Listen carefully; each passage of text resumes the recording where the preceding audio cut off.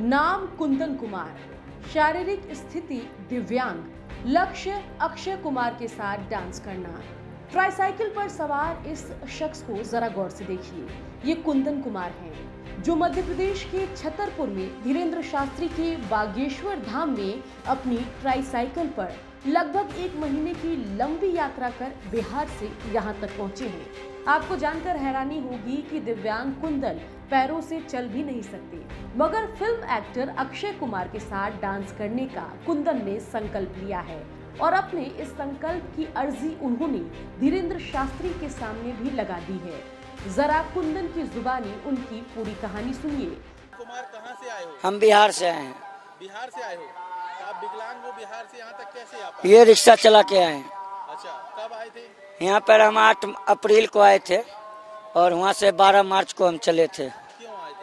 यहाँ पर हम जा रहे थे बम्बई तो हमारे मन में क्या हुआ कि बालाजी का जो इच्छा होती है, वो हमारी इच्छा थी कि बागेश्वर धाम जाएँ। बालाजी का दर्शन करें। गुरु जी का दर्शन करके अर्जी लगाए। और हम जा रहे थे बम्बई सुपरस्टार अक्षय कुमार से मिलने। हम एक विकलांग कलाकार है जो कि यहाँ पे गुरु जी के सामने भी हम डांस करके दिखाए थे। विश्व लेवल पर यह हमारा डांस गया। गुरु जी के आशीर्वाद से और बालाजी के आशीर्वाद से। तो अक्षय कुमार से मिलने की अर्जी दी क्या? जी अर्जी लगा दिए थे हम। और थे? हम ये अर्जी लगाए थे हे बालाजी मेरे जो भी मन में इच्छा है जो भी लेके चले हैं हमको पूरा होना चाहिए। हम वहाँ से चले थे कि हम जा रहे हैं बम्बई अक्षय कुमार जी से मिलेंगे और उनके साथ एक बार डांस करना चाहते हैं और लाइफ में कुछ नहीं चाहिए। अर्जी अभी कब पूरी होने की उम्मीद है क्या? एकदम होगा। बालाजी का इच्छा हो कहीं भी अर्जी पूरी लगा दो अब कहीं से भी पूरी हो सकती है।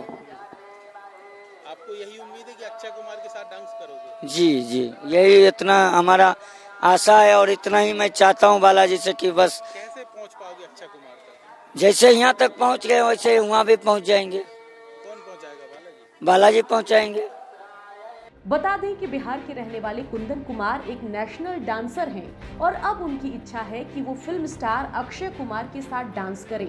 इसलिए वो 12 मार्च को बिहार से साइकिल चलाते हुए 8 अप्रैल को बागेश्वर धाम पहुँचे, जहाँ पर उन्होंने बागेश्वर धाम के बालाजी सरकार के समक्ष अर्जी लगाते हुए मन्नत मांगी कि हे बालाजी महाराज हमारी इच्छा पूरी करते हुए एक बार अक्षय कुमार के साथ डांस करने का मौका दीजिए।